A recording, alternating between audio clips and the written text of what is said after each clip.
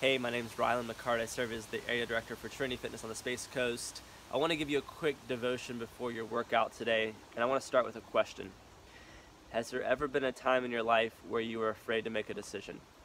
Ever been a time in your life where you were paralyzed by fear? Maybe fear to disappoint? I know there's been times in my life like that. There's a story in the scriptures. Jesus tells some friends about three dudes, and a master, a manager, of an estate gives them some resources and asks them to take care of them while he's gone. The first two guys, they're sort of like risk takers. They go out and they actually invest the money, they double the money, and they bring it back to the master, and the master's pretty stoked on that. Uh, and then this third dude, he he didn't understand the master's heart. He misunderstood God like we misunderstand God. And he felt like the master was going to be disappointed if he made the wrong move. And so what he did was he went and buried the money and returned it just as it was. He didn't invest it, he didn't take any risk. And it's interesting what the master says to the man.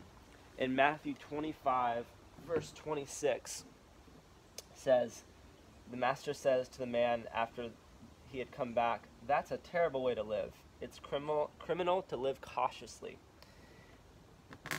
And I know there's been times in my life where I've misunderstood the heart of God. For example, well, maybe God just wants me to always make the right choice. That's a lot of pressure. I guess I just won't make a choice at all. Maybe God is unapproachable.